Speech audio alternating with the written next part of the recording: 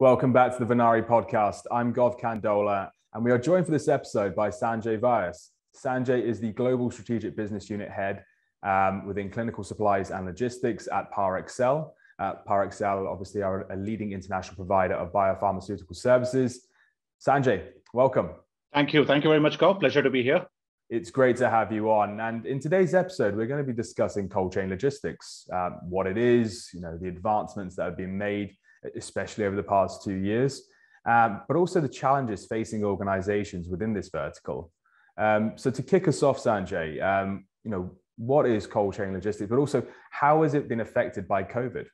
It is interesting that during COVID, every single logistic strategy that we in the past thought was actually an alternative strategy suddenly had to become a mitigation strategy.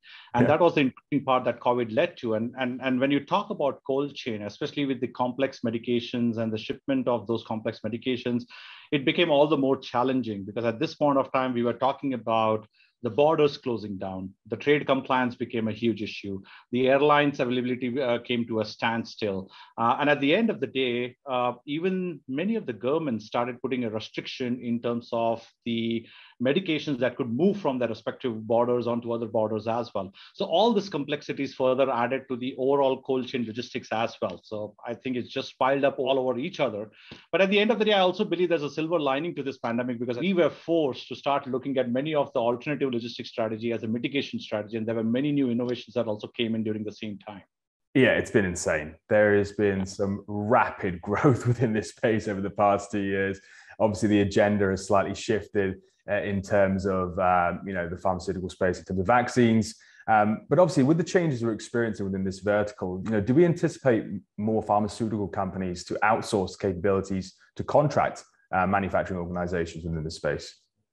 It, it is, and it's an interesting question because it's it's it's going both ways. Interestingly, Gov, because I have seen many like for example, with a clinical research organization like Parexel, we mm. were at a huge advantage that being a clinical study conduct provider, uh, we were also having a logistics arm within the same part of the organization. So for us to connect a GMP world with the GCP world became much, much more easier because it was like we understood how the study was conducted, but we were able to get the supply chain mitigation strategy because many of our patients were waiting at the end of the line due to pandemic, due to closures. They were not able to go to the investigator sites to get their drugs done, but having that in-house became a huge differentiator from a supply chain perspective. But having said that, uh, it is also suddenly supply chain has become has got a seat on the table suddenly on the on the board discussions as well because uh, it has become very critical that many sponsor companies have started looking at uh, developing molecules or developing pharmaceutical drugs as the core forte. And whereas they have started thinking about, hey, let's talk about working with a partner who understands the logistics piece pretty well and then start outsourcing that. So I would say it's a combination of both. It depends on which industry are you talking about. If you're talking to the pharmaceutical industry, then yes, the outsourcing has become more. If you're talking about the clinical research industry, then they're talking about getting more in-house and better control over the end-to-end drug supply piece of it. Perfect. Uh, you highlighted obviously the logistical challenges that are involved as well. I was going to ask direct to patient possibilities. Now, given the narrow time frame for deliveries and pickup, um, you know, of biologics uh, and sample materials, is this possible? It's a it's a very interesting and it's a pretty broad question, Gov, because uh, I can only give you my personal opinions. If from my personal perspective, I think direct to patient, decentralized trials, uh, home nursing and all that stuff is here to stay. But the question is, as I said, you know, when the challenges happened, all these strategies came as a savior you know like uh, uh, to save the whole logistics process uh, a piece of it. We had to go through a lot of protocol deviation for us to get the drugs out of an investigator site and take it to the patient's home while ensuring that the home nurse or the, uh, the doctors are also pretty much available.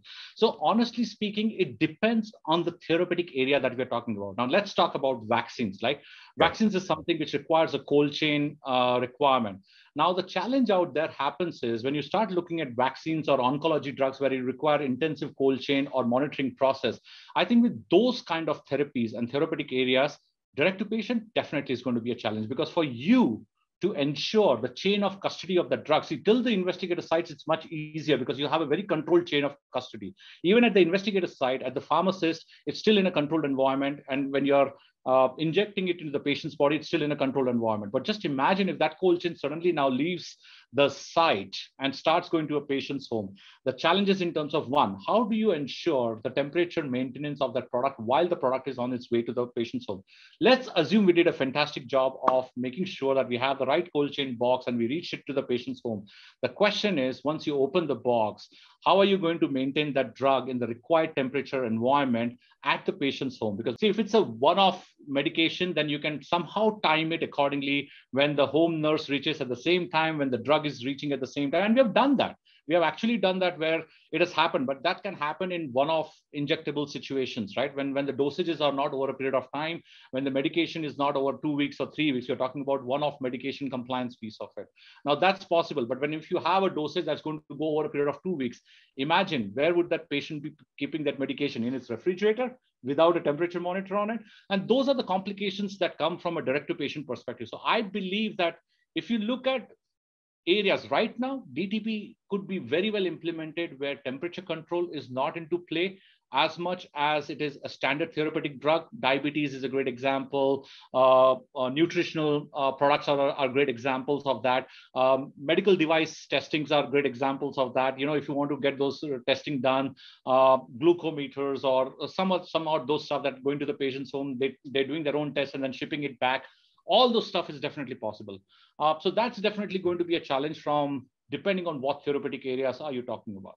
Perfect. And I was going to move on to obviously sustainability. Now, there's a huge push across all industries regarding this.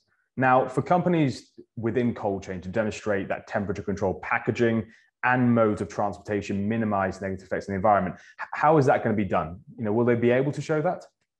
Yeah uh, there are there are some good innovations that are happening in the industry at this point of time. I, I won't be able to name names but i i recently last week itself i was looking at a packaging company uh, that is completely made out of environmental friendly uh, the outer face material uh, uh that technically had a very low carbon footprint than the comparatively the standard uh, cold chain boxes that you have but at the same time are able to give you a 70 to 84 hours temperature uh, controlled environment over a period of time. So I think there is a conscious effort that's happening within the industry at this point of time. I think there's a pressure not only on the pharmaceutical industry, but even on the service provider side, where every single opportunity to reduce that carbon footprint and um, you know like the the whole concept around ESG is something which is becoming very very strong talk of the town. So I'm sure it's possible. I think we have come a long way. Absolutely, there's still a long way to be done.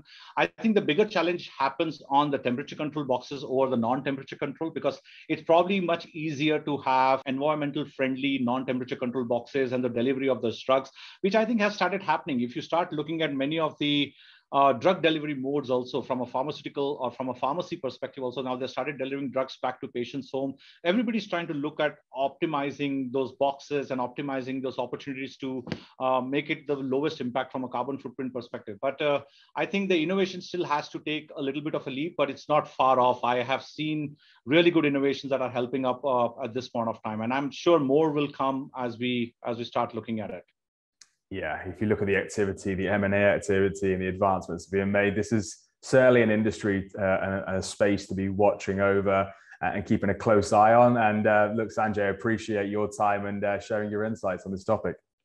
No, absolutely. It's, it's, it's great pleasure, Gaurav. You're absolutely right. This industry is definitely going through a huge transition at this point of time with all sorts of M&As to the innovation that's happening. I, I will tell you one thing the pandemic has done good is force the industry to start looking at innovation is yes. to start looking at things which was not acceptable in the past it has forced the regulators to start accepting data in a different form rather than just a physical data coming out of an investigator's site so i think there's a lot more to come i just hope there is uh, there is a hashtag that's a hashtag that's trending at this point of time. It's called hashtag no looking back. I hope okay. there is no looking back anymore uh, in the pharma industry, and that we continue to leverage many of those as we move forward.